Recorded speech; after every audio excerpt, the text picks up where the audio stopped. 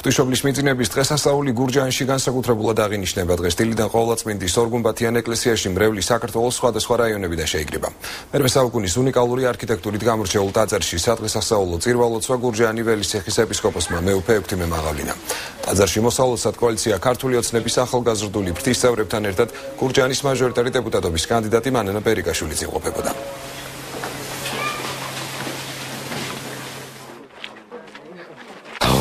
აუცარი ტაძარი.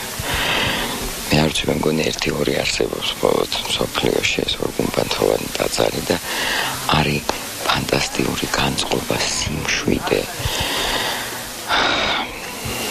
მე მგონი რომ აუცილებლად დადგება ეს დრო, როცა აი ამ სიმშვიდეში უნდა ვიცხოვრო და სხვა ფასეულობებზე ვიფიქროთ სუპერლამ საქართველოში. მე მიულოთ სრულიად საქართველოს ყოვლადწმინდა ღვთისმშობლის მიძინების დღესასწაული.